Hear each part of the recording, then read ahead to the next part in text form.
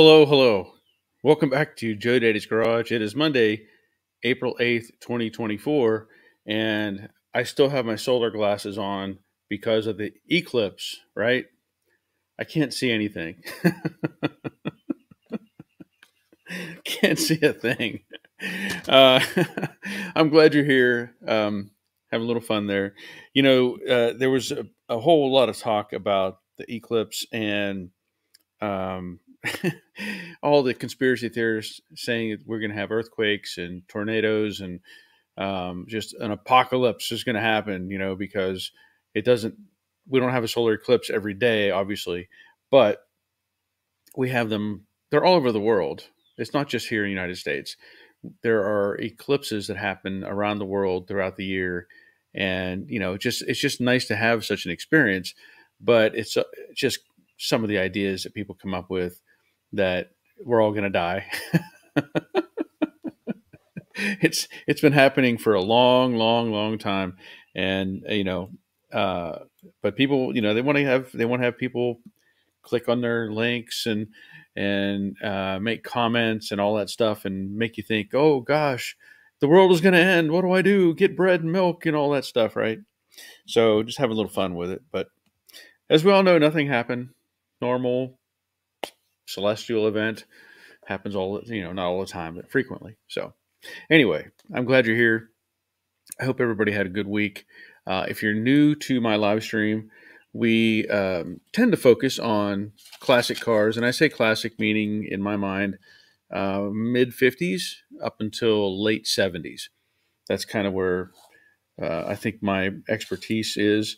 Um, if you don't already know, obviously I make videos on YouTube all the time, and my background is, I feel pretty extensive. My dad had a junkyard growing up, and so I've been around cars literally my entire life. Um, no way around that. Uh, me and my brother worked at the junkyard for my dad, and I learned a lot of things through that process. Uh, I'm also an aircraft mechanic, licensed A&P mechanic. I've done sheet metal work for on airplanes for about 30 years. Uh, I'm not doing that anymore, though. I'm just doing the stuff here in my garage. And I also co-owned a body shop for seven years, so I have background in the collision industry. Um, yeah, there's just a lot of stuff that I I have in my back pocket as far as knowledge. So if you are interested in uh, joining our conversation, fantastic. If you want to ask a question, even better if you want to bring up a subject, and it could be a variety of things. Sometimes we go off on tangents and we talk about cars and movies. Um, we've gone on food angles, but you know it's all good. We're here to have uh, a good conversation and uh, hopefully share some information if we can. And if not, well, you can just listen to me ramble on for an hour or so. Typically, that's my um, my timeline is an hour, hour and a half and uh, I, we have a great group of people that show up. So if you have a question or whatever, by all means ask it. If I can't answer that question, there's a group over there in the chat box, and they have a lot of knowledge as well, and they like to share what they know. So welcome to the chat. Now, I'd like to go through who's here and talk about some things. So first in is Rick Gain. He gets a bell. You also get a bell. It's kind of, you know, little reward system I offer. Uh, he says, family issues tonight. Won't be able to make the stream live. We'll watch it on replay and get annoyed not being able to respond. Hope everybody has a good night. Thank you, Rick. I know you're going through um, several things, and I hope I hope things resolve for you at some point. Rick Stevenson checking in. Glad you're here, Rick. And Rick is my signal to get my first sip of coffee. Thanks to Rick. There we go. Terry Keithley checking in. Hello, all. And Barry, spring is really here. Please hit the like, like and thumbs up for Barry. Thank you kindly. Yes, thank you, Terry. Uh, Terry, and I've sent you some emails. Um, yeah, with with Patreon. Just to, I, I, haven't gotten any response back, so I just want to bring that up to you. Um, also, one of my I had this this cat tell me that it's is it your wife's birthday today? Is it Betty's birthday? Is that right? My cat whisperer told me that it was your, your Betty's birthday. So happy birthday to Betty as well. Glad you're both here. Crash Rider, the view, the view of the eclipse here in southern Indiana today was amazing, but not as amazing as watching the Duke of Georgia, aka Jo Daddy, resurrect a bucket of rust known as Slither into a classic car. Thank you, Crash Rider. and be sure to hit the like and thumbs up. Yes. Dave Tyson checking in. First Dave sighting. Good evening, all. Evening, Dave. Glad you're here. Well, that was a good bell. Colin. Hey, gang and Barry. 60 degrees here 60 degree day in upstate New York, working on my wiring and sound deadening. Hope everyone had a great weekend. Yes. Glad to hear, Colin. It was a good weekend. And the weather, of course, with the eclipse, the weather was weird. We all know that. Um, we, my wife was out in the driveway watching what we could see in Georgia, and of course, Georgia. The it's hard to depict it. I don't have I don't have anything obvious here um, that acts as the the round of anyway so it was it was covering like that much that much we got of the uh of the eclipse so um yeah it was so good but even with that the temperatures dropped you know and i don't know what i forget what they tell us how long it would be like if the sun burned out how long we would it would take for us to know that the sun burned out you know because it's the light is traveling all those whatever millions of miles um, but I, I, don't want to see that happen. I don't want to be around when the sun quits working. Troy justin happy eclipse day i hope everyone had a better week than me and barry my back went out on me also old age sucks yes yeah i did not have a good uh, good this past week I was out of commission pretty much Tuesday and Wednesday, popping Advil, stretching everything I could, and um, I'm probably about ninety percent right now. Not hundred, but I'm feeling much better than I was. So that's that's good. Roger, hindsight six seven, checking in from next door. To hear Raj. Rusty's restoration. Hello, all from the eclipse zone of southern Indiana. Thumbs up, all. To hear, Russ. Steve Grimes checking in. Good evening, gang. Good evening, Steve. And Rusty says, uh, hello, all. Might miss the beginning. Oh, wait, that's Rusty's Mustang Garage. That's a different than Rusty's Restoration. Hello, all. Might miss the beginning, but we'll try to catch up towards the end. All right, awesome. So we have two Rusties. and Steve Grimes, another one, checking in. Same, same Steve. Sorry. Good evening, gang. Hopefully, everyone survived the eclipse. Thanks, Barry, for the discount on the Arc Captain plasma cutter. Awesome. Yes, you're welcome. Thank you for buying it. Jerry checking in from the Money Pit in Middle Tennessee. Happy solar eclipse with full clouds. Thumbs up for Barry. Yeah. We actually had a good view. The sun was, there was really no clouds in the sky, and, um, you know, but it was good. It was entertaining. Uh, Robert, evening all, had a good view of the eclipse today and got a few pics to come out. Oh, good. I know whenever I did a um, a the last eclipse, I think I made a video of it, and I probably posted it on my workshop channel. I think it was 2017 or something, and so that was that was fun. I have a friend who is a um, he's retired, but he has uh, gone to school for photography. Or, I mean, he has skills in photography. And he has created some incredible photo sets. Not the one that I used in my depiction here, my thumbnail, but he has some fantastic photos of a sequence of the solar eclipse, the last one, and just just amazing to see, and and uh, uh, would make perfect poster material or something you don't want to hang on the wall. So Jerry's checking in. Howdy, Barry. Howdy, y'all. I hope you all had a wonderful day. The eclipse was truly awe inspiring for Robert and me. I am glad to have experienced it. Have a great stream. And, oh, I also got to run for the ice cream truck today as well. well, there you go. If you got to go get ice cream and watch the eclipse, that's that you can't ask for anything better than that. Dave Conville checking in. Good evening. Evening, Dave. Don, Don's manufacturer. Hello, all from hello from Soggy PDX. Currently at the store. Will join after a bit. Okay. Well, I'll give you a bell anyway. Bob Shoemaker, good evening, all. Eclipse pretty much made for a fruitless day. All's well, we survived. Good. Yeah, it was. I mean, I I took advantage of the sun being out, let's say, um, and while my wife was watching it and our dog was sitting with her, I washed her van for her. You know, just kind of casually was watching the eclipse occasionally and, and then washed her van for her. And my theory is that I, I, the next eclipse will pro- probably be the next time I wash her van. So just if you wanted to schedule something like that, you know, try to plan for an event that you know is coming. Maybe a while. uh, Shannon Vaughn is checking in. Hello, everyone. Hello, Shannon. Glad you're here. Jeffrey Doer. Good evening. Good evening, Jeffrey. That looks like a new name. I don't think I've seen that one before. I, I imagine you get a lot of uh, comments. Are you a doer? Yeah, I'm a doer. Tom Jones. Good evening, everyone. You know what? It's funny you mentioned that. Because um, we all know there's a musical artist named Tom Jones.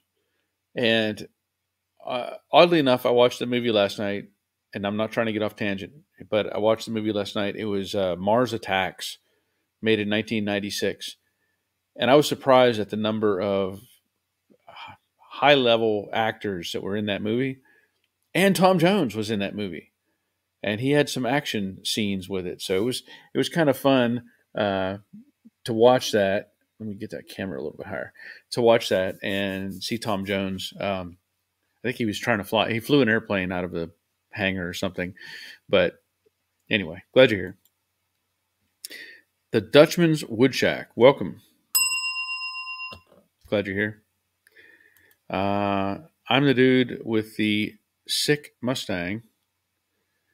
It was great here, and we had clear skies, and I got pretty much most of it. Okay. Well, there's there's um, there's several several uh, people with sick sick Mustangs. Now, sick could mean sickly, like poor, or sick, like whoa, that's a sick car. So you have to kind of clarify a little bit.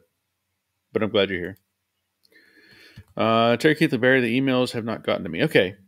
Well, I sent one in response to your um, you one you had sent me with however that was figured in, and then I sent one to Betty as well. So just just let you know. The Dutchman, I have a bad hip. Oh, yeah, that's that's never good. That's never good. Steve Reed, hello, Jo Daddy, and everyone, and watch the eclipse today. The one we had seven years ago was much better. I agree. You know, what are you gonna do? they should do. They should make better uh, adjustments so everybody can see that eclipse. you know, whenever I have, I've actually had conversations with people, and I'm not kidding. I'm not kidding.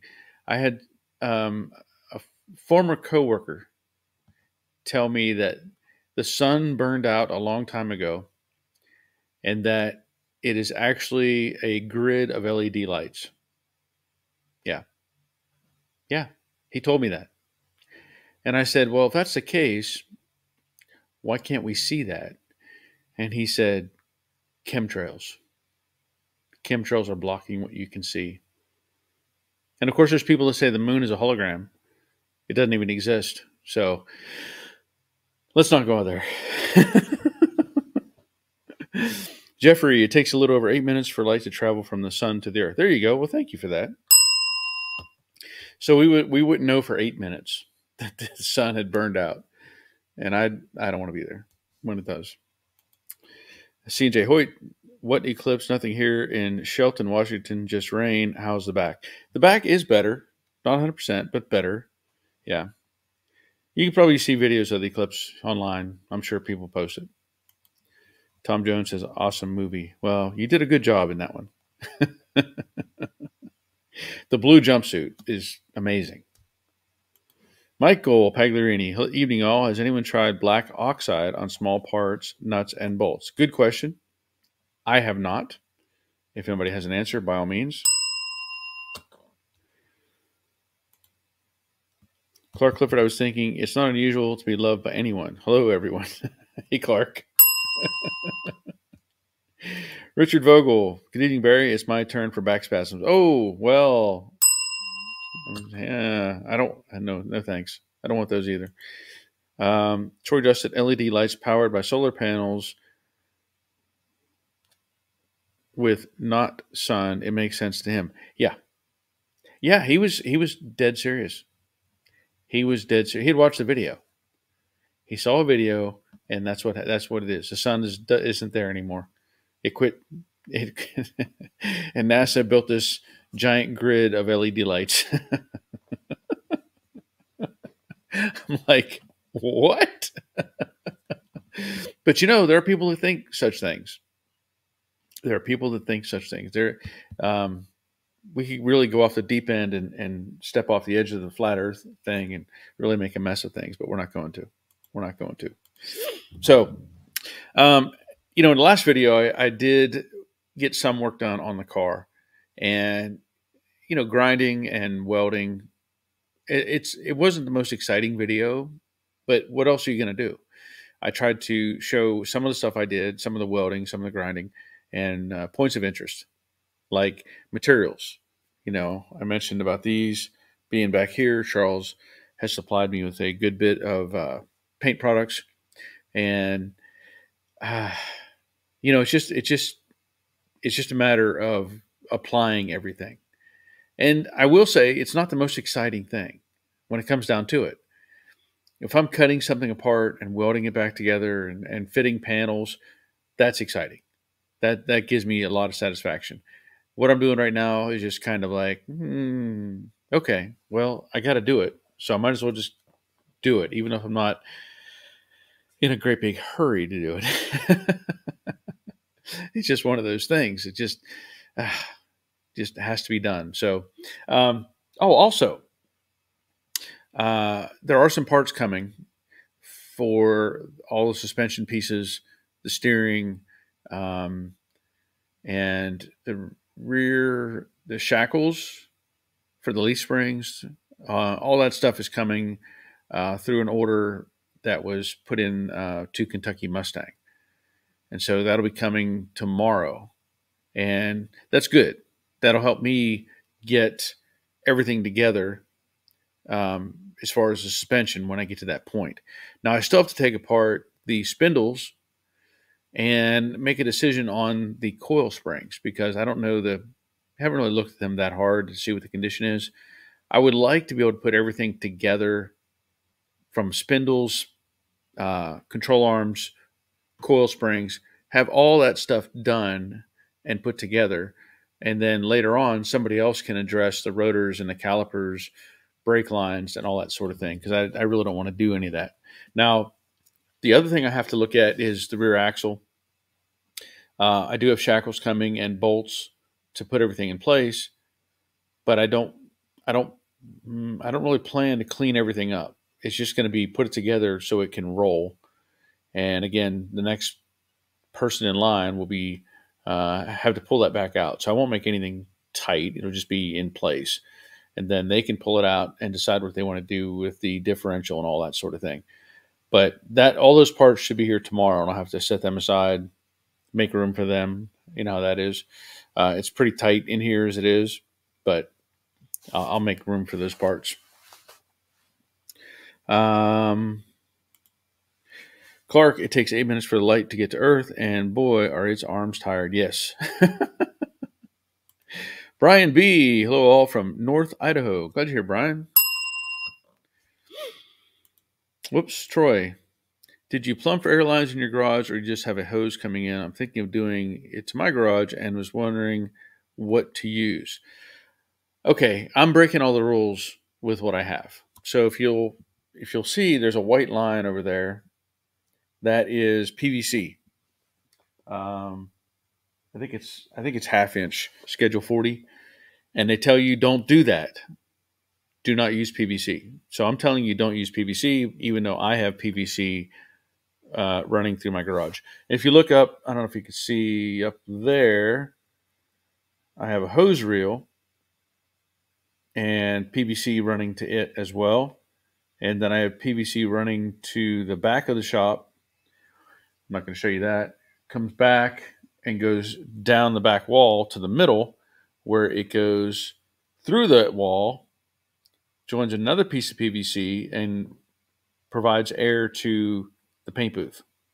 So everybody says don't use PVC. And I get it. I, I've had one experience at the body shop where we had uh, PVC blowout, and that was a one inch line. Uh, the problem was whoever put it together didn't follow the procedures for gluing the PVC, and the seam came apart. But that had been in that shop for 20 years or more, and the um, it, it slipped apart and just I mean it it let loose. Uh, in fact, the PVC broke off and stuck in the wall. So it is it can be deadly. I, it can be deadly. Now, this has been in here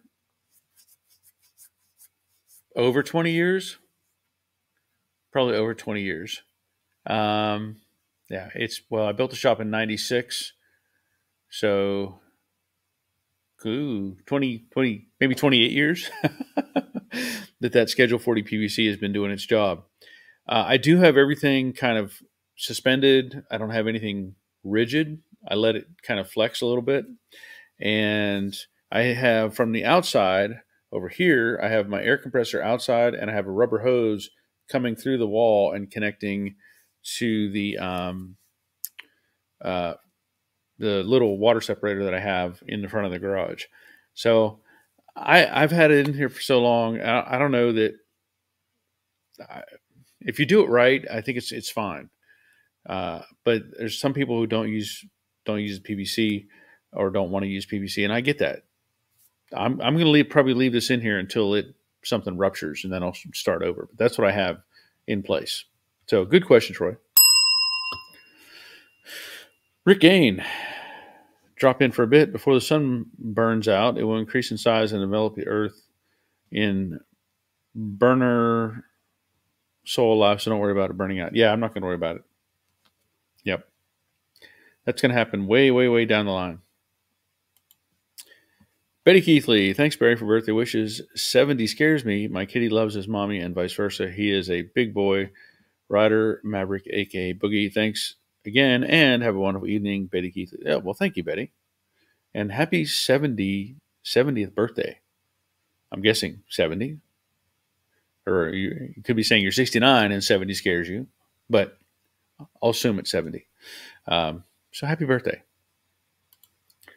And I think we all get to that way. We all get to that point. Like you reach a certain age and you look look at where you were 20, 30 years ago, whatever. Or you look at your kids and, you know, I'm like, my oldest son is 32. How did that happen? But then I talked to my mom, who is 80 this year, and she's like, I can't believe you're as old as you are. You know, it's it's it's that whole timeline thing. And in our minds, I think most of us don't recognize that we are that age until we start looking in the mirror and going, What? What happened? I didn't look like this last year. but it happens. Can't stop it. Uh, Faith Followers Customs Evening from East Alabama. Glad you're here, Faith Followers. Uh, what part of East Alabama? That's that's going to be the question for you. you ever get up to Gadsden? Are you up in? Are you on the southern side of Alabama? Just let me know. Uh, Robert, I used PEX and made a circle around the shop with it. Cheap and easy to work with. Okay, that'll work. Thank you, Robert. Uh, CJ, what about PEX pipe for the airline? It's cheap. There we go. Bob Shoemaker, I have used three quarter inch schedule 40 PVC since 92 and no problems. Yeah. That's, I mean, that's where I'm at at this point. Uh, Troy, I won't use PVC, but I will look at getting PEX. Thanks, Robert. There you go. So, um, Clark Clifford, PVC, light the fuse, and anticipate the carnage. Otherwise, perfect. Got it. yeah. well, you know, it can fail. It can. Dave Britton, hello. Hello, Dave. Glad you're here. Dave Tyson. age is a state of mind. Yeah, they say that. They say that. You know, um, I've said it before. I was mid 40s and I took up running again, and I was doing good and running and and all these things and competing in events and doing um, Spartan races. I did a half marathon, and whenever the pandemic uh, hit us in 2020, I kind of just gave up on it. And even uh, the doctors were looking at my ankles and stuff, going like, "You, you shouldn't be running. You're causing more damage than you need." So uh, now I do. I just walk. I just walk. Try to get two to three miles a day if I can. So. Uh, Clark Clifford, more cowbell. Hello, Dave. yes. Okay. Mark, uh, uh, sorry, Michael Pagliarini. Don't remind me more gray than brown hair now. Yeah. Well, I I could show you some pictures of me when I was early twenties. You wouldn't even look at that and go, "That's him." No, not even close. Faith followers west of Lagrange. Oh, okay. So you're more more in the southern, mid southern part of the state. Uh, Dave Britton, age is state of mind till you go to get up off the floor and find out how much it hurts to get up. Yes. Yeah, and now both my knees are popping. Yeah, that's a that's a that's a new feeling and a new sound that I don't like, you know. But I've said, and let me tell you, I'm going to tell you about this stuff because it works. And I've I've tried to tell people this, and I know people that have ex- experienced it, and it's worked for them as well. And look it up by all means. Look up golden raisins and gin. Just look it up. It's a way that you uh, soak golden raisins in gin and let it evaporate off, and you start taking those every day, and your arthritis problems decrease tremendously. I, I 100% attest to that. It works. Look it up. Golden raisins and gin. In fact, it was on the um, uh, front page of, from what I understand, the American Arthritis Association had it as a uh, recipe for everybody on their website, and then they took it down because, well, there's no money to be made uh, in that so-called natural type of uh, remedies. So, um, but look it up, you'll see. And I've been I've been doing that for the last six months or more. So. Um, Dave Britton, I looked it up and have to try it. There's all kinds of great write ups about it. Yes, and I, I'm I'm telling you, it works. I use it. Uh, I've had friends who um, had their, their their dad. This friend of mine, his dad was scheduled for knee surgery. He started doing it, and he said, "I don't need this surgery." And the doctor was like, "What?" And he's like, "My knee quit hurting." And the doctors didn't they did, didn't believe him. And he said, "What do you what have you been doing?" And he told him, "I've been using these, taking this, you know, more natural remedy, and he's been walking two to three miles every day." And the guy was like, mm, "Over 80. And the doctor was like, "Well, okay, let us know whenever you want to do it, but tell me what that recipe is." And so he passed it on to the doctor. But look it up. Look it up. Okay. Um, but as I was saying you know, working on the bottom of the car, um, trying to get all the little things taken care of. And I did some more, I, I, was welding on it today and doing some more grinding, and trying to get everything dressed up.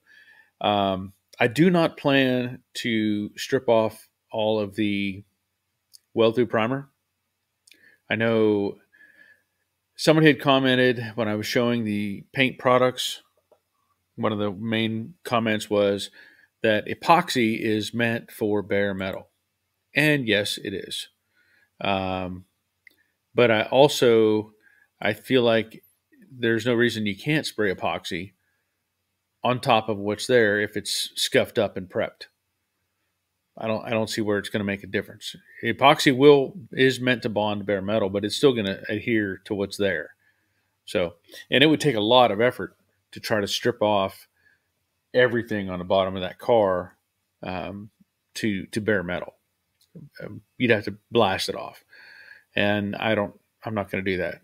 I'm just not not in the in the in setup for that. So Um, but that's that'll be the plan. And I, I think there's a video. I think I'm pretty sure the guy's name is Jerry Heasley. Apparently, he's some sort of Mustang guru, and he did a um, kind of a. It wasn't the best video. It was like somebody filmed him, and he was kind of addressing what he was doing, um, but it gave some information as to how they applied the seam sealer that they did use and where they sprayed certain materials and stuff like that.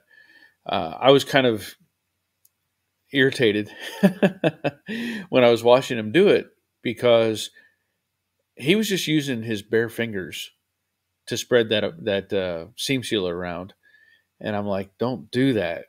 Never, ever, ever, just go straight bare skin with any kind of chemical. Try to avoid that as much as possible. But he was just smearing it all over and then wiping it off on towels and smearing it again and wiping it off. Put some gloves on. It's not going to hurt. Let the gloves take the abuse. Uh, Richard Vogel, I found that eating the raisins and washing them down with gin helps me. Yeah, well, that yeah, I'm sure it does. um, but yeah, give it a shot. Give it a shot. And if it doesn't work, well, at least you have some gin. um, what was another thing I was going to mention about the? Oh, I did some more. I think I I shared that I did some more adjusting on the rotisserie, and I'm able to turn a lot easier, make it make it move a lot easier. So very happy with that. Uh, and that's that's really where we're at. That's really where we're at. So, uh, if anybody has any input, or maybe if Robert wants to join us, he can. I can send him a link and we can find out what's going on with his world. But uh, I don't have a whole lot of direct, um, you know, stuff to, to talk about because it's just been just one of those weeks. you know what I mean? Let me see here. Oops.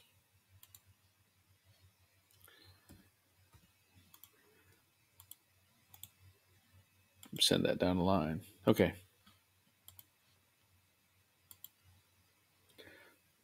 Um, okay, so Robert says sure. Okay, so I'm, i sent you I sent you an invite. We'll get you on. Now, what was something else? So somebody was asking about. I've been trying to post stuff on um, Facebook. People have been asking for subject matter on like windows and adjusting things. So I've shared some videos recently with those people. Oh, that's the other thing. Um, I re-edited my Dynacorn videos. Now, I've been posting stuff on Patreon, and I'm posting videos on there that are re-edits. Uh, of course, on Patreon, there's no commercials, none of that stuff. And I added some bonus material. I've been posting the latest Cobra Jet videos on there but I did a re-edit because when I went back, and this is a this is a problem with YouTube too, is to to make any revenue, they want like really long videos. And in my early stuff that I put out, I was only making videos that were five to seven minutes long. And those videos just really don't do anything. They're just there. So those videos I have currently on YouTube, they're going to be turned off. Those are going away. Um, I am releasing a, a re edit of the Dynacorn. Uh, there's always two real videos and two little time lapse videos. So I put all those together. I've already posted that on Patreon, but that's going to come back out on YouTube um, probably Wednesday. And just trying to do what I can to keep people interested, obviously, and reshare some of that older, um, the older stuff. Because uh, some of it doesn't get any traction anymore. Like it'll just it just doesn't get seen because nobody's either they're not looking for that specifically or it's not getting promoted by YouTube.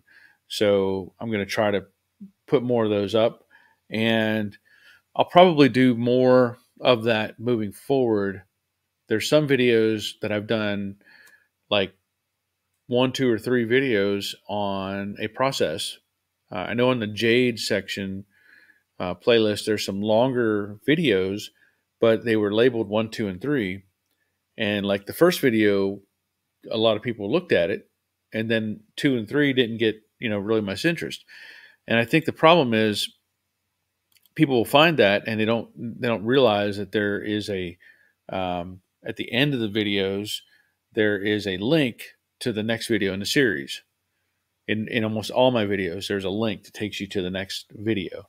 So I'm going to probably have to rework some of those as well and try to make sure that uh, everything is, is getting caught up and, and shared the way it should be.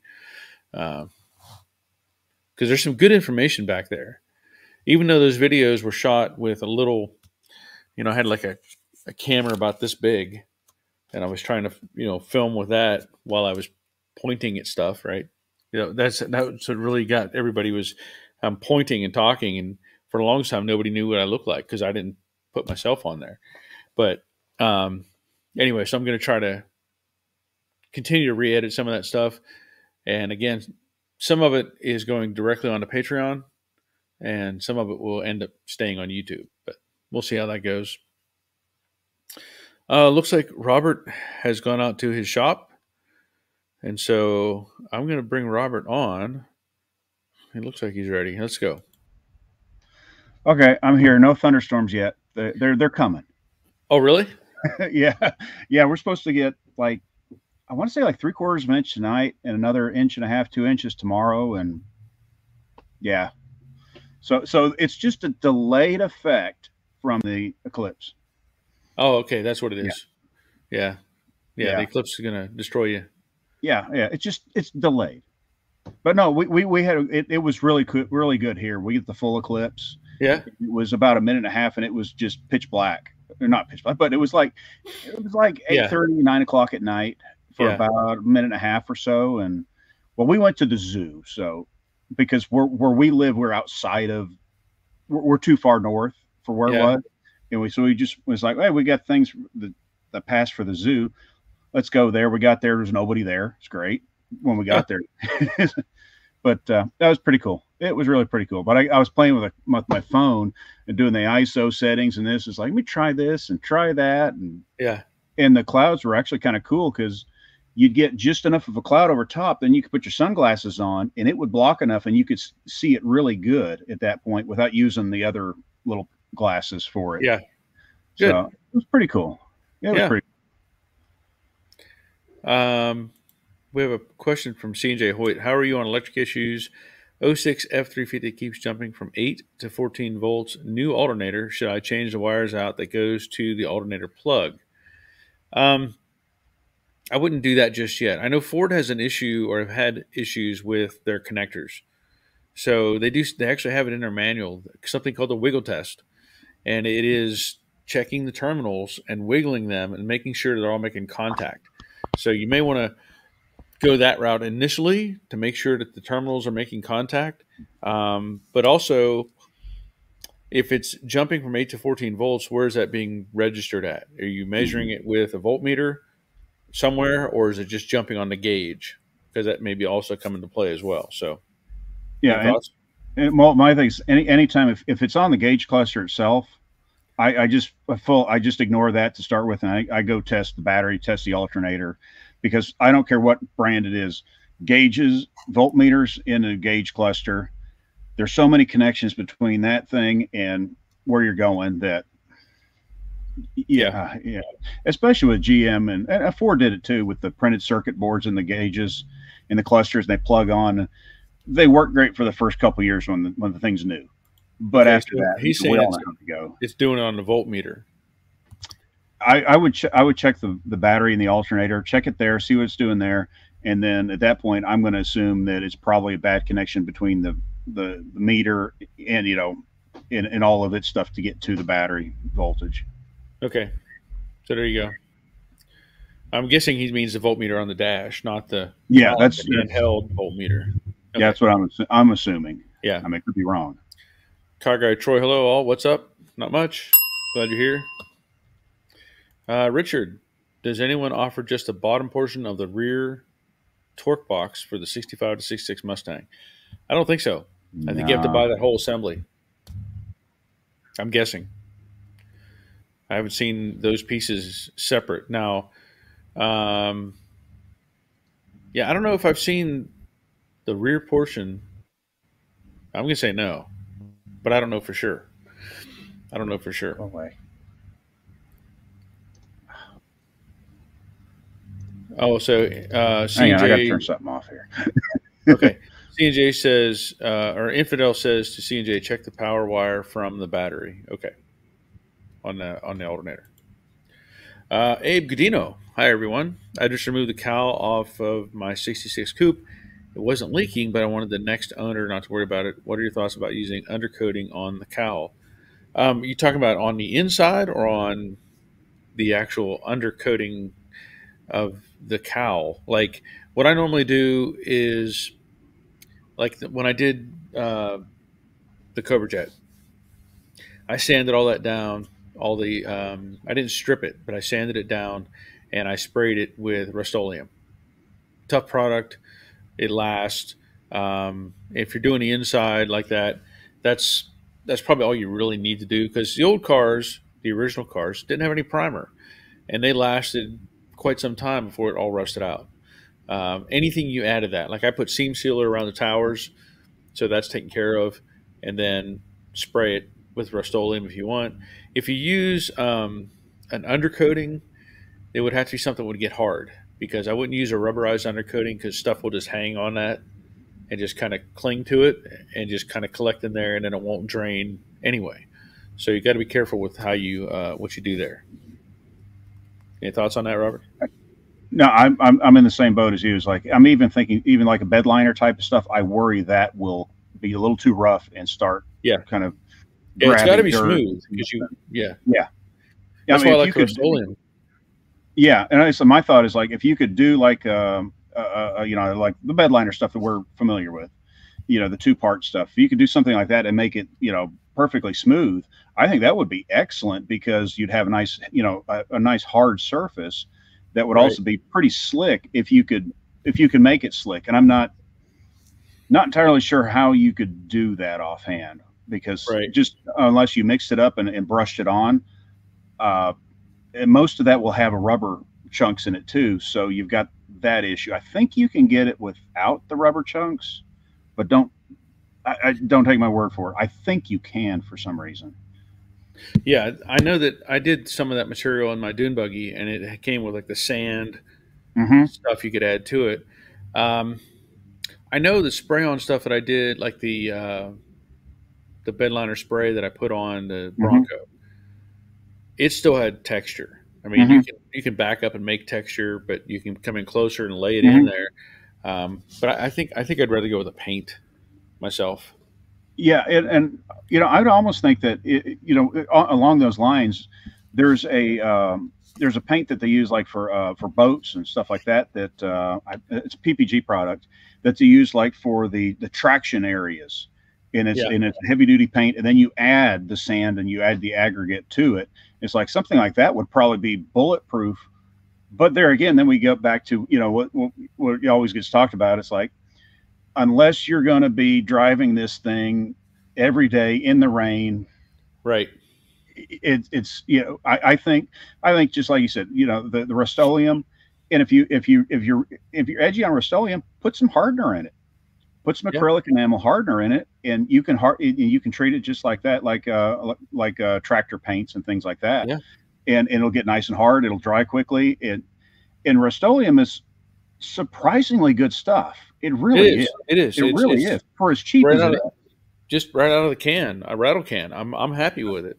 So yeah, and, and and I've seen a number of guys do you know different different tests on different products and even do rust tests and scratch, and it's like you know for as cheap as Rust-Oleum is, it's just like it comes out near the top every time of those yeah. tests, even against really expensive stuff. So you know I don't know what it is, but it you know they it's been around long enough that they've got something that works. And it and it smells bad too. Oh yeah, yeah. and, and, it's uh, funny, but if you get the black stuff now, it's blue in the can. Okay. A friend of mine bought he bought a quart of it. and he said, "Here, come look at this." He opened up for me and he, said, "Look at that," and it was like royal blue. And I was and I said, "That's blue." I said, "No, when it when it dries, it's black." Hmm. So they've done something different with their formulation, and and it was like, okay, yeah. as long as it works, uh, I don't care. Yeah. Uh, Troy says, Robert, is that new insulation on the ceiling for your shop?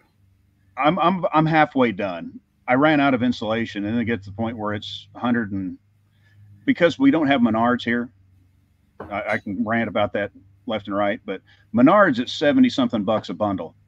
But I've got to get it here, and I have Depot and Lowe's, and it's a basically twice the price to buy a bundle of it. So I'm like, yeah, maybe I'll make a Menards trip or something, and or whatever. You know, yeah, I'd like to do the rest of it, but you know, insulation is a fortune these days for what it is, and I still need for what I can get. Just like say, just the rest of the ceiling and a little extra. I could buy everything to do all the walls, double it up, and the ceiling from Menards for the same amount of money. Yeah, right. It's it's a big difference, but it does make a difference. It, it, it does because if you're at this end of the shop and say it's cold or warm or whatever, and I it's even without running the mini split, you notice a difference, and it's much quieter. Because like the other last week when it was raining, you know, here it wasn't so bad. You go to that end, it's noisy. Yeah. Yeah. So yeah, it's getting there. And talking about hose, air hose, that is a hose reel up there that I bought a long time ago, and I miss having one in the middle of the shop. And I finally was like, okay, I just got to get the thing off the floor. I got it mounted up there. Yep. But when it's talking about our, my on the PEX, I just ran a big loop around the shop, and then up here I've got on this end here I've got a line that runs all the way up here, and that way it'll run up, over, and down, and and because it's a loop, I only ran half inch. Well, you say, well, that's not enough volume. It's not half inch is not. But when you're running it in a loop, you're pulling from both sides of that loop. So you've got less, you have less okay. restriction on it because you're not just doing through one half inch line. You're pulling through two half inch lines. Okay, but is it still it's, one it's one half inch feed though from the front? on well what the compressor can when the compressor feeds into it you can do whatever size you want feeding into that line right there. So you could do you know half inch off the compressor you could do three quarter whatever. But the fact that you've got it's a long run but you know since i've cut it from one half inch to two your resistance goes way way down. Okay i see what you're saying. And right. and it and it works fine I, yeah. no complaints no complaints at all and i use the compression stuff okay uh, Shannon says no on the um, bed uh, bed liner in the cowl, and Abe says inside is where mm-hmm. it's going. Uh, Infidel says bed liner would pop off from the engine heat. That's a uh, possibility. yeah, a possibility. And Infidel, I would do paint. Have done it many times. Yes. Yeah. So yeah, yeah. I think we I think we've answered that question pretty well. Paint, paint. Uh, my, as far as I'm concerned, is anything you put there is going to be fine. It is. I mean, like we are saying, these cars back in the day, they didn't mm-hmm. have any primer anywhere in there, no. and it rotted out over the course of 20, 30 years, whatever. Oh yeah. of course, it mattered where it was, you know, driven, but mm-hmm. these cars, we're not going to see that kind of weather. Well, it's you know, it's like when I took my quarter panels off, and you know, inside there, everything in there is bare steel. It was it was never coated with anything. Yep. And and a lot of there were areas that still bare steel that were you know not even surface rust on it. Yeah. Just because of where they were in there, you know, never had any surface rust on it. You know, what's funny, um, rust, uh, rust is a weird thing. Like, if people will panic sometimes whenever they they'll have a little surface rust on the panel, mm-hmm. And really that is just the steel trying to protect itself in a mm-hmm. sense. Mm-hmm. It creates that rust, and it that's it. Now, mm-hmm. if it's sandwiched between something, or if there's other elements added like salt or anything like that, mm-hmm. then it just sits there and eats away at it. It can't mm-hmm. get rid of it. But if it's just a dry surface rust, it really doesn't affect it much of anything. Oh, um, yeah. I mean, I've, I've, I've, got sheet metal all over the place that has got that perfect patina on it. Yeah. And, and it would, you could let it sit for decades and it won't change. Right. Now, if it's out in the weather, or if it has some other elements, or making contact with it, or if there's some electrolysis or something that's mm-hmm. feeding it. That was why mm-hmm. there was always a big deal on um, uh, batteries sitting on concrete, right? The the story mm-hmm. is you set a battery on concrete and it'll draw the juice out of that battery. That's not true. Mm-hmm. What happened was you would have a, a, a path of mm-hmm. leakage, mm-hmm. let's say, where the acid may have created a trail that went out of the case and went to the bottom of the battery. Now, mm-hmm. the electrons or whatever uh, have a, a path of least resistance and can go outside the battery and then down to the concrete. So it wasn't the concrete that was causing that. It mm-hmm. was a leakage that was allowing the concrete to interact with it. So that yeah. was always a, you know, we always, like my dad always had to set it on a piece of wood. And I get mm-hmm. it. It worked. It did. But that well, was kind of where the mindset and, was. And, and, and dirt on the top of your battery will discharge your battery. Yeah. If that case has got dirt and gunk on the top, you know, just on the surface of it, that allows you know a slightly lower resistance path for the electricity to go from post to post. Yeah. Yeah. It just yeah. You got storms? No, I, I think I have a squirrel. we have lots and lots of squirrels around because my wife feeds them. ah, yeah, we don't have many squirrels. I, yeah. I, I, I, was I was working on the yard yesterday. Went around the side, and our fence is not on the property line for some reason. And I walked around the corner, and I I got the weed eat or something, and there's a possum headed towards me. And just the, I, I, wish I recorded it because it was just like, he just, oh, I'm just doing my thing. He looks up and he's like, oh, you're in my way. And he's like, and they kind of sits there for a second. It's like, yeah, I'm going to turn around and go the other way. just, just the, the, it was like a cartoon. Just the look on his face was like, yeah, okay, I'll go. And he just turned around, walked the other way because yeah. everybody was making noise. So he, he got woken up out of his spot. Yeah. It, but it was just so funny. He was just like, I wasn't expecting you to be in my way. yeah. Well, and opossum are ones you want to keep around. That's for sure. Yeah, we we don't. Yeah, we've got those. Uh, fortunately, I haven't noticed any skunks lately. So, yeah. Usually this time of year, you'll start smelling them. Yeah. You know, you'll smell them here and there. So. Well, there's other things that smell a lot like skunk that I smell frequently when I go up into the Atlanta area not good. Anyway, so how's how's the progress on the Mustang? Um, yeah, it just stuff gets in the way, and and uh, my the, the she hurt her back, and I was gonna, you know, she had to do was jump seating back from her mom's and 737. You know, everybody makes fun of it. Well, it has this little jump seat for two people. If you've ever bought a tent before, you know, you read on the package and it says, this is a two man tent. We all know what that really means is it's a one man tent. Yeah. Same goes for that seat. Well, because the way she has to sit and contort and she's holding herself up the whole flight and she ends yeah. up straining a couple muscles back there. And, you know, because it's like I needed her to wanted her to film some stuff and it's like I didn't want her to mess with it. And yeah, the the, the part of the uh the the the the, the what we were talking about before, the clip yeah. before that I sent you. Yeah, the part of that that uh, I, I, need a little bit of help because something's going to go flying. Let's put it that way. well, I didn't know if you were working on anything else on that, or if you were just. Uh, uh, I've been, I have been digging through stuff, trying to kind of figure out what I've got and where I'm at, and and I've got a bunch of little stuff that I've just got to get stripped and painted or primed and, and powder coated. I just need to get all that stuff. I'm trying to get it all together and just get all, you know, go through and get all that done at one time versus do a couple of these and then uh, I'm just try to get everything together, get set up, do it all at once and make it easy. Yeah. You know, um, I, I, I did buy a, a toy over here. Harbor Freight had that 15% sale coupon yeah. thing.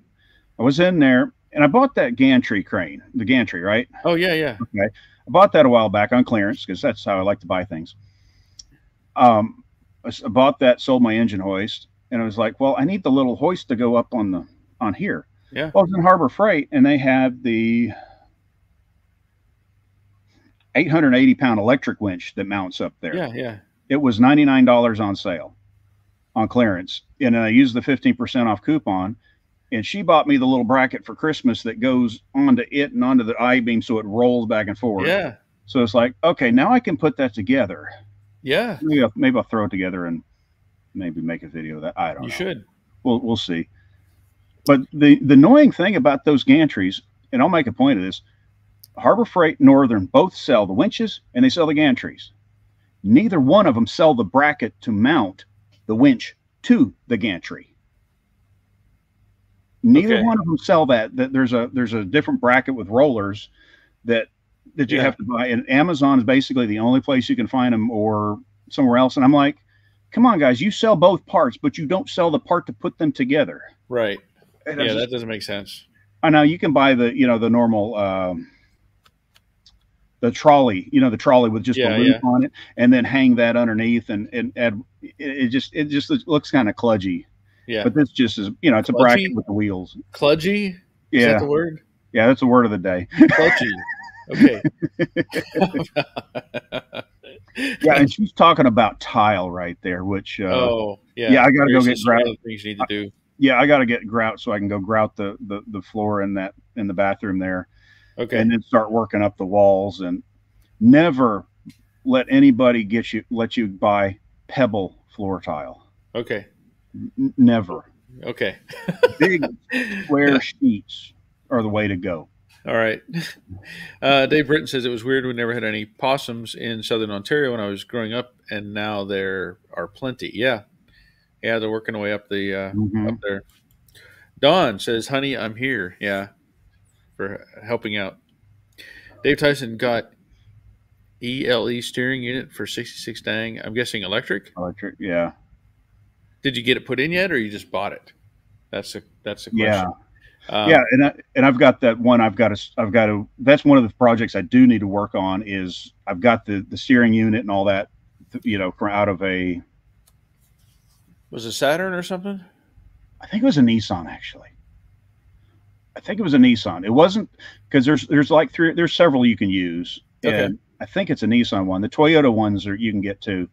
Uh, but I, I need to get that out and I'm at a point where I can start figuring out how to bracket that thing into place. Yeah. Uh, my steering gear is not in bad shape. Um, What's the ratio on it though? it's the power steering gear. Okay. It's the, it's the tight ratio. Um, it, it moves really nice. It's actually uh, it doesn't. There's not a huge amount of slop, but it it needs to be a little tighter. You know, it's not it's not sloppy like most of them are. You know, like they're really really sloppy. yeah. But it's just it doesn't have as much resistance as I would like it to. It's it's really too easy to turn. okay. So I'll either, you know, do like Don, tear it apart and do that, or take it down to San Antonio. And that's the guys where you can get the parts is in San Antonio, the, the ball bearings for inside, or just take it to them and say, here, rebuild it and give it back to me. And, and then I'll use that.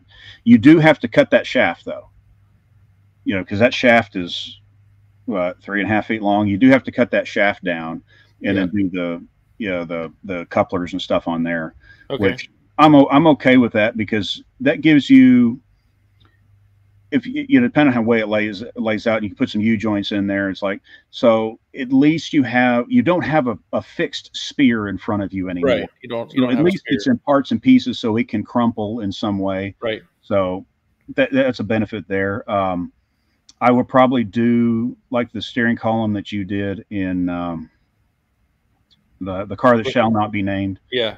Uh, the GM steering column is what it is. Yeah. Uh, probably do one of those and like just an ididit or something. yeah, or just uh, the eBay special ones. Yeah, they're it's a Saginaw column. I mean, how, Okay. how, how do you mess that up, really? Yeah. And so I might do one of those kind of things on there, Okay. and uh, I just got to figure out how short can I cut that thing because it's got to be pretty short when you Yeah. put all that extra stuff under the dash. Yeah, that's true.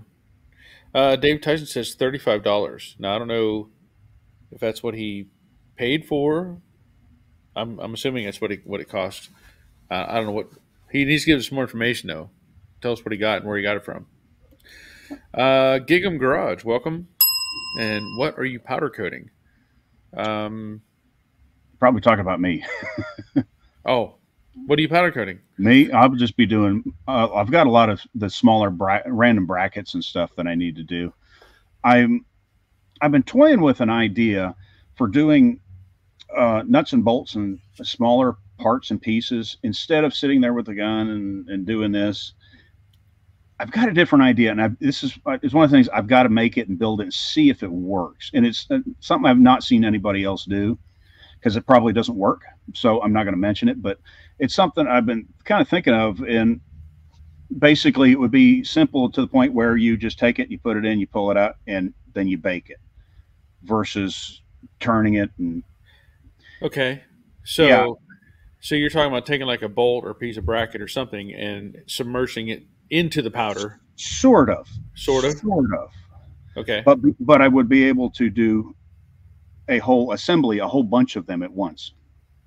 Instead of just one at a time, hmm. I could do it on one hanger. But aren't those electrostatically?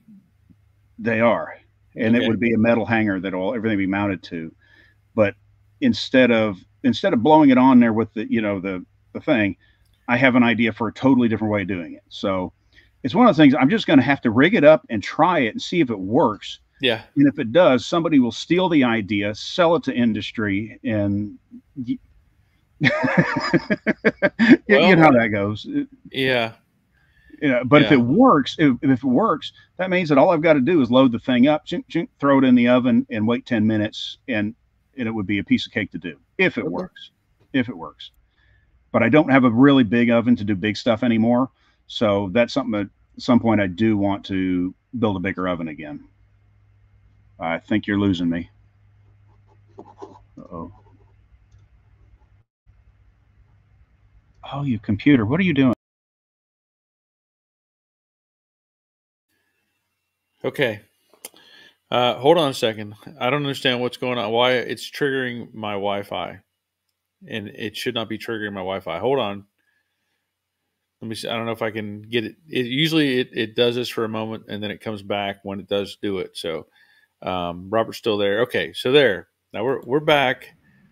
I don't know why I, I did that. I didn't know if it was you or me. Well, it said it showed a little Wi-Fi symbol, which it, it, it shouldn't even be able to turn on Wi-Fi here because it's turned off. Um, well, this, okay, this so, computer I plan to get rid of pretty soon here too. Which this that? thing is, I, I, plan to get rid of this computer pretty soon because it's, uh, yeah, it's, it's, it's, it's still on dial-up. Pretty much. It, it, it, was, it's, yeah. Yeah. Uh, so Dan, uh, Don says Randy, the steering box guy, is moving locations, inventory in transit. Okay, uh, I yeah, I haven't paid attention to them, but so yeah, I'll have to figure out see where they're going to. I'm not in any hurry, but so I'm not familiar with Randy, the steering box guy. I guess. Yeah, it's uh, they're in San Antonio, and uh, their big thing they do is rebuilding these uh, the steering oh, boxes okay. for for these Mustangs and they're one one of the more common ones, popular ones out there for doing it, and they do a good job. Okay, they do a good job at it. Uh, Gigam says looking at KRC power steering, fourteen to one.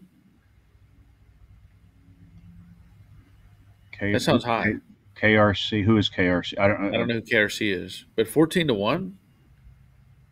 That's I. That sounds really high, really fast. I, I can't remember what the what the ratios are.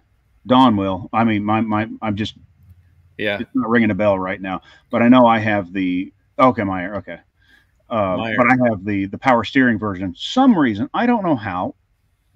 That's just the way this car was. There was a lot of weird things on it. So I've got the the, the quicker version, which is okay. nice. Uh, Michael says I got a black oxide kit. I did all the bolt for the C4. I was totally amazed how nice they came out, better than new. Okay. All right. So Dave Tyson ELE power unit complete wire harness from mm-hmm. Saturn Mechanic. There you go. Mm-hmm. Can't beat that. And then Gigam says 16 to 1. Okay. So that's your. Are you saying the power steering unit is 16 to 1? Is that what we're. I, I think I think the manual is 16 and the power is 14. Oh, okay. I think is what I could be wrong. I just don't remember. Okay, I, I don't know either. Because I, I, I know like on on the GM ones, like the was it the one LE Camaros and stuff like that were like 12 and a half to one. something like that. Okay. Um, they were like 12 to 1 and then you could get anywhere up to i think it was between 12 and the standard ones were about 16 on those too so okay yeah uh, 12 to 1 was pretty quick and then they had really heavy torsion rods so it was really hard to turn. A lot okay. of people like that for some reason. Gigam says the manual. Yeah. All right. Um yeah, I, I, I don't know what the ratio is because whenever I did the CSR, no, no, not uh, the Borgeson conversion mm-hmm.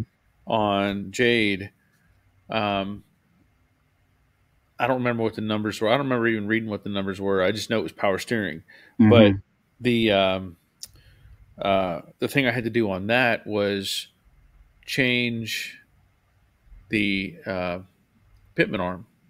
Mm-hmm. I had to take it off of my manual box and it fit the the power steering. Mm-hmm. So I know there was some. I think there was some uh, going back in time when I was racing the '65 Chevelle.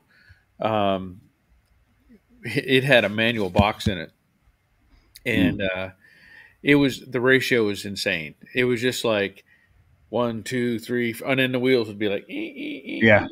So like when we were racing, um, as we people comment, it looked like we were swatting flies.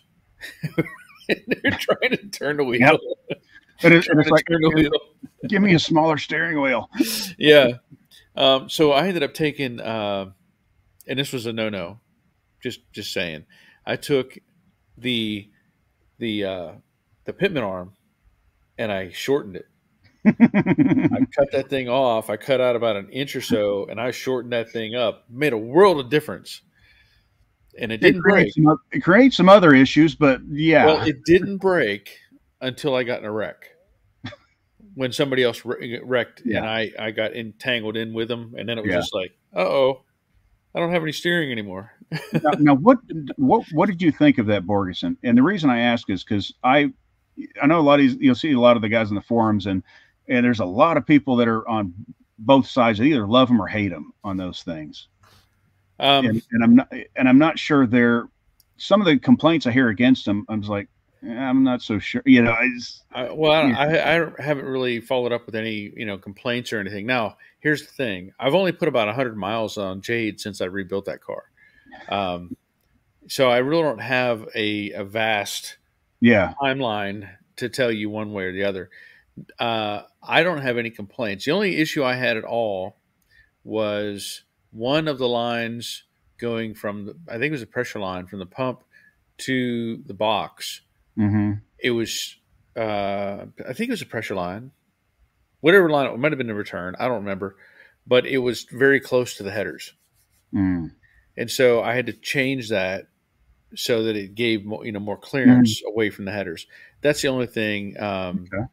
The only thing I really had to mess with, but it's it works fine. It, it, connected fine. It wasn't, you know, yeah. it's not that, that not that complicated. Well, and, and there are electric power steering pumps out there in the world. They those do exist. Volvo has some, some yeah.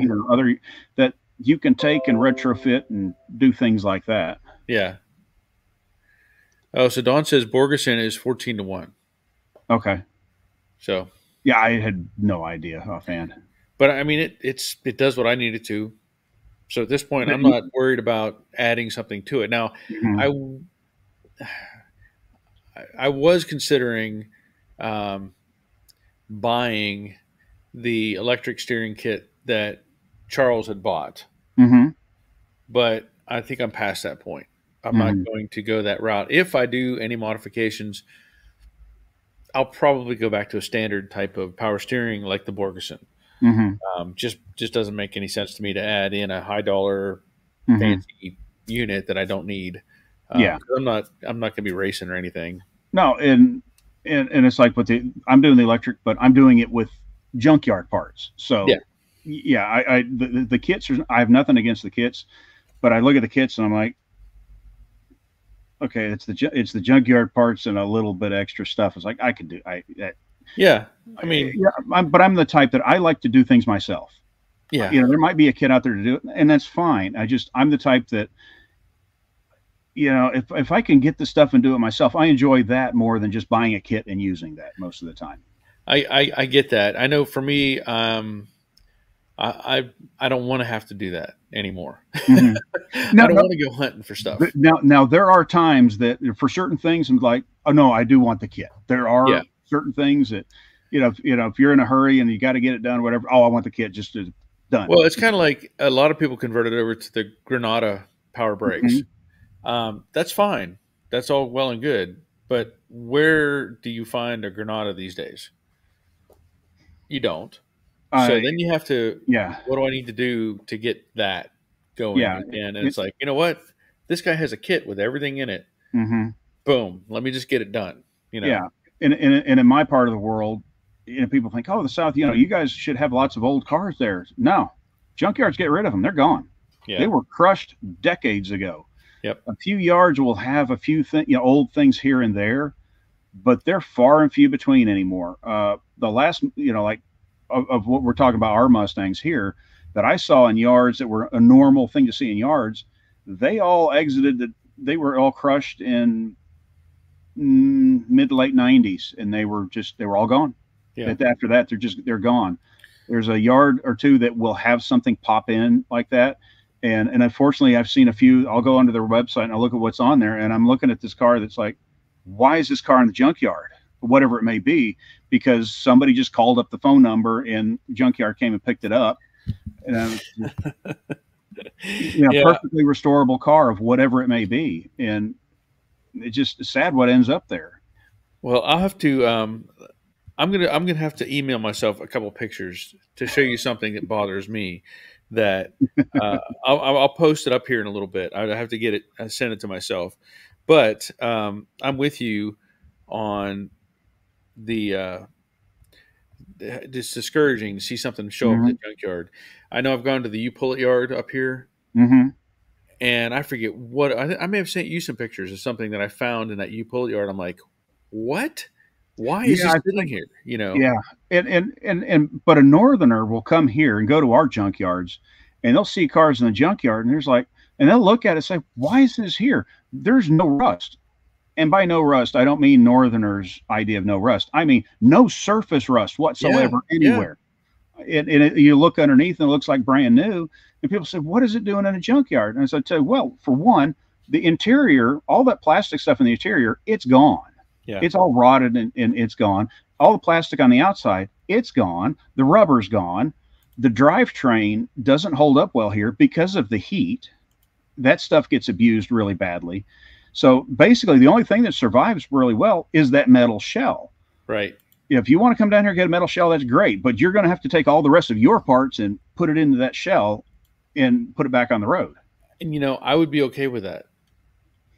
I would mm-hmm. because you know you just don't find this stuff. Yeah, um, like we're saying with the uh, in in that condition. Mm-hmm. That's like you know people wanting truck beds and, and truck cabs and stuff like that. Go to the junkyard. You can get you a nice rust-free truck cab. Not a problem. Yep. It's it's not it's not a problem to get them at all. I know um, when I did the uh, GMC and I cut up that cab and got rid of it. Oh yeah, there were people like, "What are you doing? We cannot find those." You yeah. know. Um, and so we're like, me, I can't sell it. Yeah. Uh, let's get caught up on some of the conversation on the side. Roger says it was awful trying to drive the stock car with a manual box, but I wasn't much better at it with the Z28 box. yeah, I forgot we put the Z28 box in it. Uh, Don says if I were installing Borgeson, I think I'd run hard lines outside the apron. That's a great idea. Yeah, that's a great idea yeah, my, that's like a lot of my wiring will be outside of the apron. Yeah, it'll be through the wheel well, but I don't want it inside the engine compartment for. You know, so what? But but but what if it gets hit by? I'm not worried about it. Well, you know, Again, here's the thing. There was um, a guy that uh, I think Call of George. He has an Instagram page, and he did AC on his 68. Mm-hmm. He ran the lines outside of the apron, and it I've looked so much cleaner. I, have seen that done. Yeah, it, it, it is just like when you see that, it's like, yeah, that's the way to do it. Yeah, that's the way to do it. It just it cleans up the engine compartment so much. Um, Michael Pagliarini says newer Jeeps have electric power steering pumps. Mm-hmm. Uh, Gigum says I'm your Edgeberry looking for a kit. Okay. And also, junkyard hunting days are over. Yeah, yeah. It's just, especially when you we're, we're like, well, you could take the Granada. It's like you can't even find a Granada. I cannot remember the last time I've seen one. It's been very long time. Um, let's see. Dave Tyson says, yes, we do. I'm not sure where we're at on that. Oh, and he also had said put nuts and bolts in bleach overnight, dry, and paint. Hmm. Okay. Um, missed that earlier. Now, now, but whatever you do, don't, you know, you do the, oh, hydrochloric acid, muriatic acid. People think, oh, yeah, that's great for removing rust. Yes, it is. Don't do it in your shop. No. Do not do it in your shop. You do it in your shop. Anything that is bare steel or bare iron in your shop will be rusty tomorrow. Yeah. I've seen it happen before. Uh, he was saying about the the part the cars. He said, except in South Texas, rust, rust, rust. Yeah, it's like it, it's like you know the PT Cruiser. There, there's no rust whatsoever. Yeah, it looks like a brand new car underneath, and and we're getting rid of it. So yeah, yeah, yeah, but yeah, you go down the coast, it's yeah, you're by saltwater, so yeah. Um, Jack W. late to the party. Good evening, Barry from a shaky New Jersey. Yeah, they've had the uh, mm-hmm. some minor e- eclipse uh, earthquakes, right? I think is what they were. They were. Yeah. Just, it was just early. It was just ahead of time. Yeah, got got it. Oh, they didn't time it out right. Yeah. yeah, we had a couple little earthquakes. I don't know, five, six, seven years ago or something, right around right before Christmas. Yeah. And it was in bed is like it was like something went like a you took a rod and went under a carpet kind of thing. Was, and it was like, what was that? Was an earthquake. well, you know what's what's funny about Georgia is if you go up into Atlanta, you have Stone Mountain, mm-hmm. and they have that giant mural on the side, whatever, mm-hmm. and that's all granite. Mm-hmm. One, yeah, one big chunk, yeah apparently that's just the top of the granite mountain that is underneath Georgia.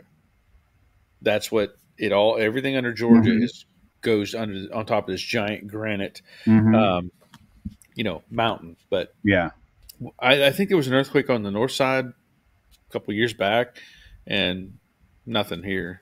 we're yeah, we had. I think the the biggest one we had was like a 2.8, 3.0. Oh, we had yeah. like three of them, and it was they were centered like about a mile and a half north of us. Oh, and it was, but it was all, and, but we're on sand, so a little earthquake's a big deal. Yeah, I get you know, that. So you know, I know a lot of people that you know ended up with crooked doors and everything, but it was all it was all because of uh, well, a lot of people complain about gas and oil and, yep. and, fracking. It's like, but my thing is like small price to pay to have electricity and stay warm in the winter.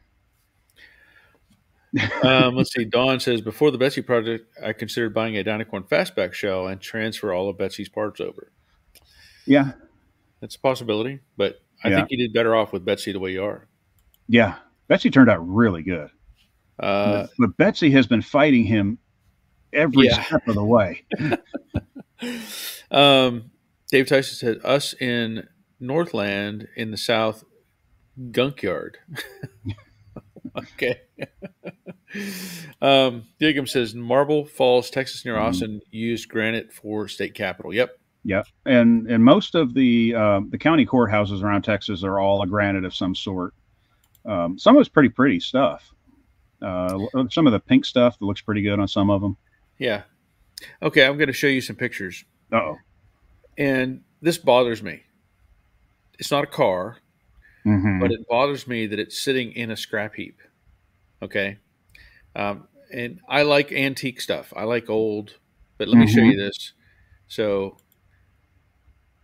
Oh, okay. yeah. Yeah. Yeah. That is a Springfield mower made between, I think, uh, 50, either 56 and 62 or 58 and 62. Mm-hmm. And if you'll notice, it's got like a handlebar sticking out of the hood. That's the steering. Um, it's missing the seat. And here's a little closer picture of it. Mm-hmm. So Springfield. Uh, it also, if you look at the first picture, it's got a shifter for, I guess, forward and reverse, and then something else. I don't know what. To, I didn't get close enough to look at the shifter deal to see what all it did, but that hurts me. you know, it, it, to be honest, it, you know, if if somebody had that locally and said, "Hey, would you want? Would you take that?" And Be like, that would be a cool project. I, I'm so tempted to go back to to the place and just see if, if what they want for it. I mean, um, other than the, and, and, the seat, you can get a seat. Yeah, you can get the seat. You know. And, yeah, but and, the rest of it looks like it's there. So the, the then the next question is, what do you do with it? Right? What do you do with it? I I hate to see it get scrapped, yeah. but I I I don't have time. Yeah, it would be it would, like I said, it would be neat project to build and do, and then it's but then it's like when you're done with it, yeah, I what do you okay, do with it? It's cool, and it's like somebody would buy it though. You would hope. If that's something. If you had that restored, you bring it to a swap meet, you bring it to Pate or something like here, yeah. it would sell in a heartbeat. Just to the same people that buy oh, the yeah. signs and you well, know, you know, kind of stuff. We have um, locally here. There's uh, twice a year they do a tractor show. Mm-hmm.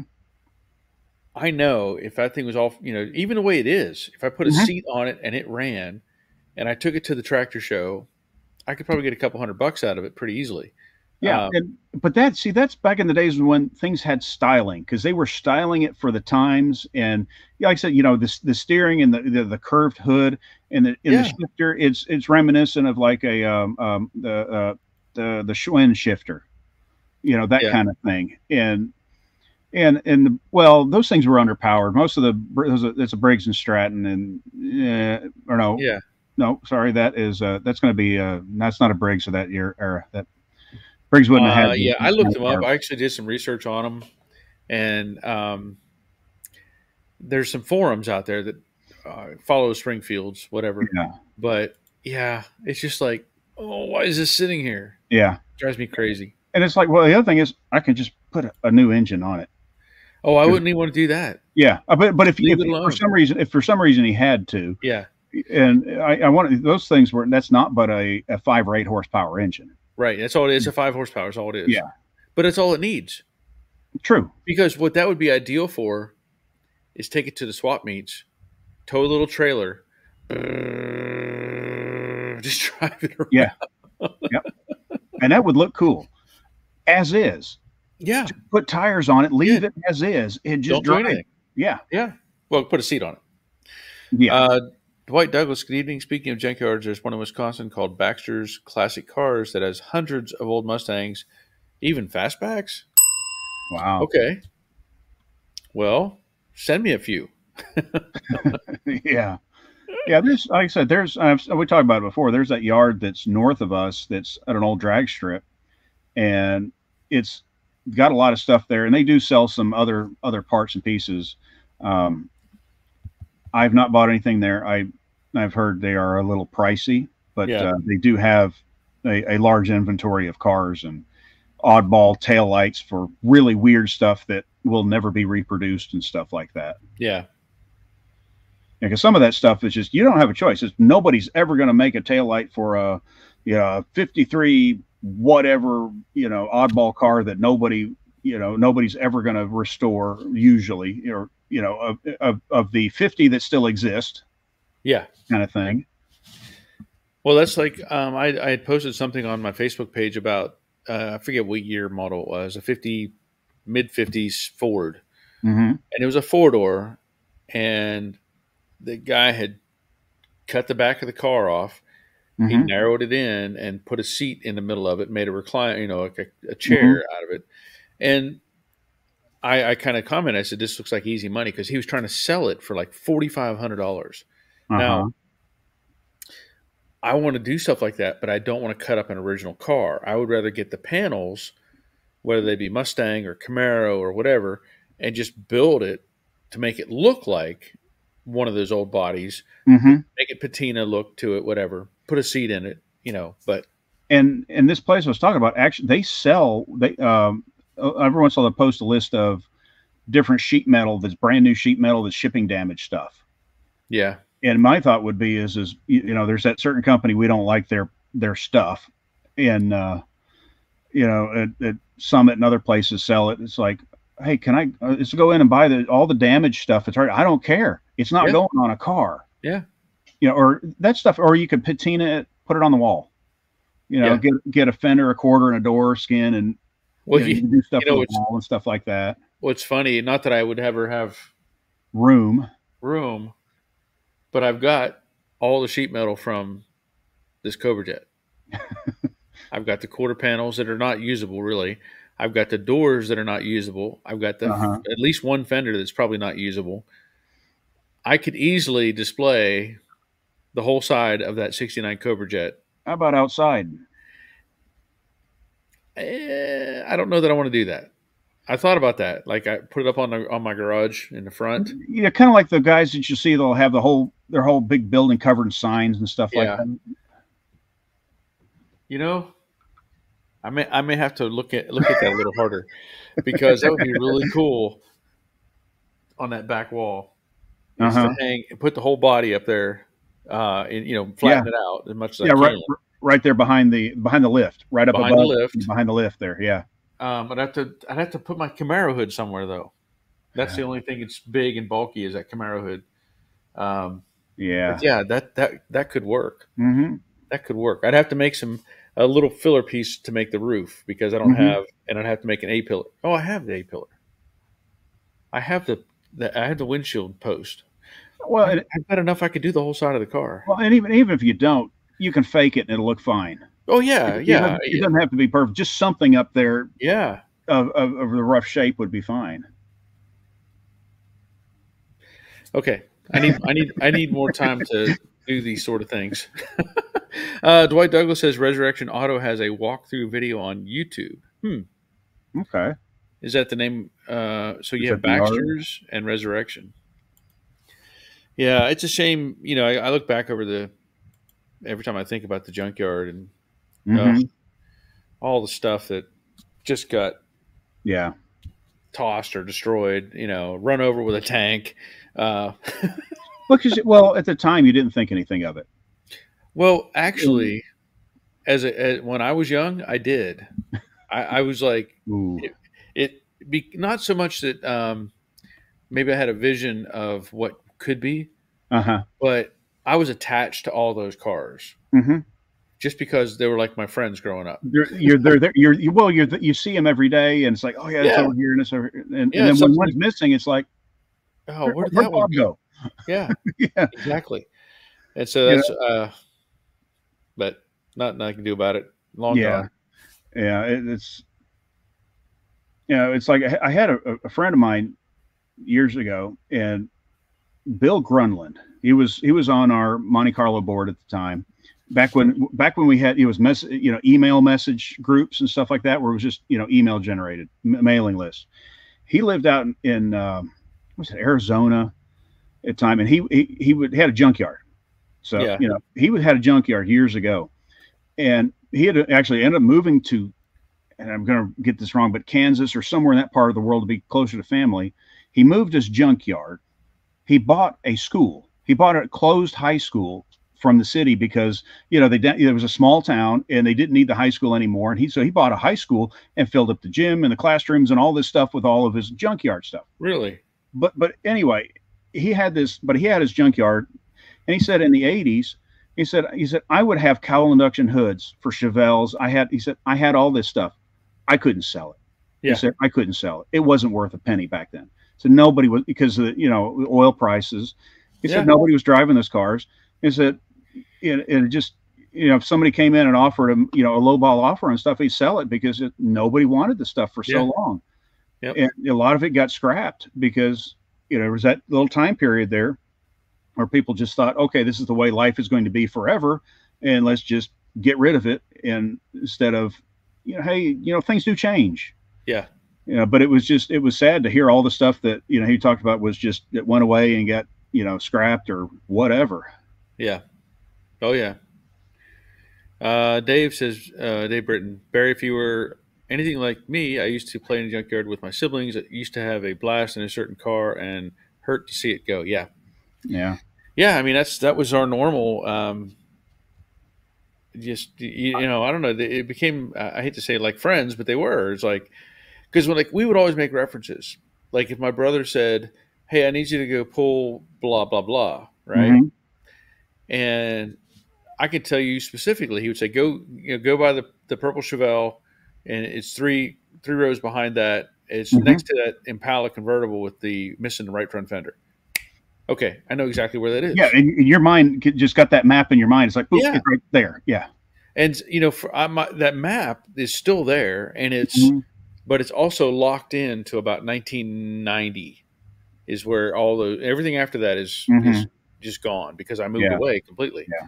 Um, but yeah, you could sit there and you know, he'd say, "Oh, uh, you know, up by the hearse, there's a blah blah blah." Oh yeah, I know where the hearse is. Mm-hmm. I know where that is. Yep, got it. You know, well, but that's like you know, going to yards. Is remember when they were all you go to any yard, and most of the cars were stacked two and three high. Yeah. So, in, in anything you need, it was always in the car in the top. Yeah. So, and, and back then, you had to climb up there to get the part you wanted. Yeah. You had to climb up into the second or third car, and you had to climb up there and go get the parts you wanted. Yep. Sometimes you got lucky, and it was on the second car and then because it was up there, I just reach up there and do right. it, and take it off. So no, we never did that. We never stacked anything like that. Uh, we just didn't have a lift to do that sort of thing. Yeah. But that reminds me of a story, not necessarily junkyard story, but reminds me of, of an event. Okay. Years ago, I put a car in a demolition derby. It was a 82 Impala. Mm-hmm. Um, afterwards, I scrapped the car, took it to a scrap metal place that mm-hmm. took in all kinds of metal. Mm-hmm. I went there, and I was I was angry. I went there, and there was a um, I, I want to say it was an eighty or eighty one, maybe eighty two Malibu wagon. Uh huh. Dark blue. I don't know if I don't know if those had a wood grain effect on them or not. I don't remember if they came as an option on those. Um, I don't remember if those had a sticker or not. I don't remember this, seeing one, but this thing was rust free. It was perfect. Mm. It had the nicer wheels on it. Mm-hmm. It had the I looked the interior was spotless and perfect. I was like upset mm-hmm. because it was on the bottom of three car, two cars piled on top of it. Mm. And I'm thinking, why did somebody bring this here? Yeah. What did they? What was the point of of dragging this to the scrap metal place to make two hundred bucks off of it? Yeah.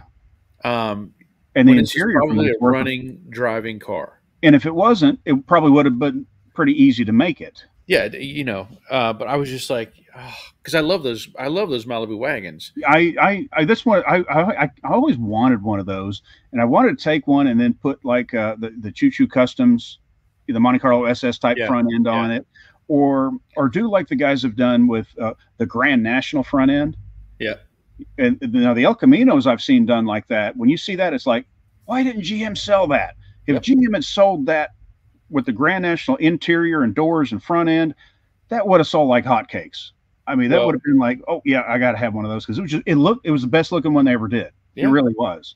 Well, I happen to know where there is a, I think it's a '79 uh, Malibu wagon mm-hmm. V8 with a factory four speed in it. Mm. You talk about an oddball. Yeah. Any of those any of those cars that had a four speed were hard to find. Be, well, because a wagon with a four speed. Yeah, because well, most of them were were just the, the cars and made into the Iraqi taxis, which ended up they didn't end up going where they're supposed to go. Right. Yeah, and most of them ended up in, in Mexico, and yep. uh, yeah, those were. But the interior out of a wagon today is worth a small fortune. Oh, because that stuff thing, is unavailable. This thing was just it was absolutely perfect, and I was so distraught because I was like, mm-hmm. you can't. It was at a point where you really couldn't save it now. Yeah, yeah, because it's already been crushed underneath everything. Yeah. Yep. Uh, Don says same thing my dad went through after discharge from Marines. Could have bought brand new P-51 Mustangs for fifteen hundred dollars each. He disliked civilian flying though. Yeah. Yeah. Imagine that having uh, buying mm. ten P-51 Mustangs and just putting them in a hangar somewhere and just letting I, them sit. I tell you, one one of the neat, neatest stories about well, uh, it'll be off, but it's it's aircraft related. But yeah, and and I was watching. This was a thing. It's been years ago, and some they were restoring a P fifty one. Yeah. Or, or, yeah, or, uh, no, I'm sorry, uh, a P thirty eight. Yep. Restoring a P thirty eight, and I and I don't remember who it was doing it, but they were telling the story about this and said, yeah, we needed a, a, a yoke for the P thirty eight. They were restoring.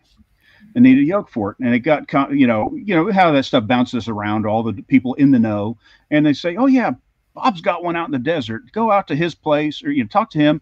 He's out in the desert. He's got hangars all over the place. He's he's you know he'd be the one that has them." They call up the guy and says, "Oh yeah, I got one." He says, "Well, what do you want for? It? How much you want for it?" It's like, oh, "I don't want any money for it." He said, "I want a Wright." Such and such whatever early Wright engine of some sort. I don't care what condition is. I just want an early Wright engine of some sort they said, okay, we'll we'll we'll see if we can scrounge it up and you know do the one of those M*A*S*H episodes, you know. Right. And you know, trade this, trade that. If they finally got the engine, went to the guy, went to the guy's hangar, and they got. He said, okay, here's the engine. He says, uh, where's our yoke at? I said, oh, you see uh, that pile of pallets over in the corner of the building over there? Said, there's a whole there's a whole there's pallets full of brand new yokes over there. Just go grab one. and they're and they're looking at the guy like, you made us go find this rare engine and you have a whole pile of them. He says, yeah, but you needed the yoke. Yep. yeah. You know, but that, but that kind of stuff happens. Similar things happen all the time. Yep. And it's amazing, you know, an, inventory like that, no matter what it may be, there's piles of stuff out there in somebody's warehouse somewhere, whatever it is. Well, um, I could tell you from my experience, a friend of ours, um, they owned a coal mine. They had they had money. Mm-hmm. They had uh, tractors that they did tractor pulls with. Okay. Okay. So they had the um, uh, I lost it. What's the name of the? What's the engine that was in those in the Mustangs? Oh, was, um, uh, uh, um, you know what I'm Mer- talking about? Merlin. The, big V12, the, the Rolls Royce Merlin. No. Was it uh, Merlin or was it? Oh, crap. Mine's going blank now. Yeah, my I, I have a camera pointed at me, so yeah. uh, my, my my my my memory is over here right now. Yeah. Uh, um. Anyway, I, I know I it, it, it, just came to my mind. Um. Ah.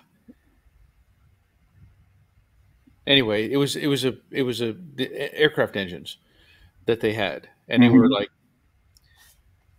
I want to say they were V12s. Yeah, yeah, uh, yeah. Don, it is the Merlin. Yes, what Don was saying. Yeah. Well, not it's not. Or, it was Allison. That's what it was. Oh, okay, okay. Okay, I know. So it was Allison. Yep, Michael, thank you. Yeah, yeah, um, yeah. Okay. So it had these Allison V12 aircraft engines, and they had built tractors with those on. They were mm-hmm. the first to. I don't know if they were the first to do the Allison V12s, mm-hmm. uh, but they had one tractor that was supercharged and another one that was turbocharged. Okay. They built the first one where they put two of those side by side. Mm-hmm. They couldn't keep a drive shaft in this thing. It had so much torque, it was oh, just oh, yeah. twisting the drive shaft. Yeah. So they went for years racing these. And my, my buddy was actually uh, rookie of the year in 1985 on mm-hmm. the circuit. They, they toured the circuit around the country. So they ended up shutting down and not doing it anymore. Mm-hmm. I think those tractors may still be around after all these years. Mm-hmm. But they had a they had I was there the day that the semi truck backed into their shop, slap full of these things. Mm. They took a forklift and they stacked these things up in the back mm-hmm. of their shop. They were like four high and like two rows deep. And mm-hmm. I mean, there was 16 or 18, 20 of these aircraft engines. Yeah. So years later, my brother was at a junkyard and he was looking to buy some parts or something. And he looks over and he sees this odd cylinder head. Mm-hmm. And he's like, that looks, that doesn't look right. and he said, where did you get that from? Oh, so and so brought it. He brought me a bunch of that stuff. Somebody broke into their old barn where they had stored all this stuff, uh-huh. stole those heads, stole all these aluminum parts, mm. all these aircraft engine parts. Yeah. Took them to the scrap metal place and sold them for scrap. Oh. Not even knowing what they had in their hands. Jeez. And they just they just they just got rid of them. Yeah. And um, it was a long yeah ordeal. The guy got arrested and all this stuff. But it was like you idiots. You know, you don't know what you're dealing with. Had, had they known what it was and what it was really worth, right? Yeah, yeah, they could have really made some money off of it. But. Now, now, now here is here's the here's the trivia question: Who really bur- who built the Merlin engine? Who built the Rolls Royce Merlin? Oh, I I couldn't tell you. I couldn't tell you. I'll just let somebody. I, I've Don. I know Don will know. Well, but, you know, back in back in the day, even Studebaker made engines mm-hmm. for aircraft. But uh, yep. That's a good question. So yep. let me let Dave on here. Brantford, Ontario has a huge had a huge pile of surplus aircraft out of the war. My grandpa purchased a AVRO six five two Anson for the parts, and they were selling oh. Harvards for five hundred bucks. They were pushing oh. all kinds of planes into a pile for scrap with a loader. Give me a Corsair. I, would take a Corsair in a heartbeat. Yeah, That's one of my favorite favorite airplanes is the Corsair. Uh, Don says, "And the yoke's on you." Talking about that. yeah, yeah. So we went through uh, Allison. Thank you, Roger. Yeah. Donison Merlin. Yes. Yeah. Um, Michael, my dad restored Douglas Dauntless dive bomber at the Quonset Point Air Museum. Okay, that's cool. Oh, that's cool. Yeah. So we have oh Packard. Yep. Is the answer for, uh, which is technically Studebaker yep. at some point. Yeah. At some yeah, point. But, after but, they uh, merged. Uh, you know, and and that was in uh, if, if, you ever if you ever haven't seen it, uh, there's a series on uh, one of the PBS type series. Um, uh, give me a second. Give me a second. It was about manufacturing World War II, and somebody's okay. going to remember the name of it right now. But there's a whole series of different ones, and they talk about that in part of it. Um, but it's it, it's really interesting because they talk about uh, different, you know, what Ford did at that time, what GM did at that time, and um, oh my mind is I just cannot remember the name of it right now. The War Factories is what it's okay. called. Really good series, and there's a lot of really interesting things about how who did what, and you know the fact that you know there were GM and Ford vehicles on yeah. the wrong side of the lines because of yeah the war. Yeah, but it was it's there's some really interesting stuff in there, especially about some of the European companies about how yeah. how they worked. Really interesting. Okay, Yep. I, it's getting time to go. Yep. I got to get something to eat, and we've been at the, I've been at it for an hour and forty two minutes. You've been on here for a while too, so I appreciate you coming in. Yep. and uh, helping and out with this. next time, this black and white stuff, and I'll probably try to comb my hair first. I wasn't really planning on, but yeah, yeah all right. I'll, I'll, swap computers so there's a, the picture looks like it's supposed to. yeah.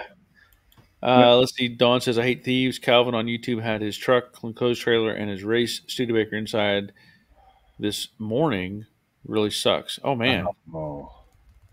Yeah, I, I, I we got a we got a purpose. You know, thieves, you can just you know come right about here. They won't steal again. Yep. Yep. All right, I'll let you go, Robert. Again, thanks for being here. Okay. So that's going to be. Uh, we're going to close out tonight.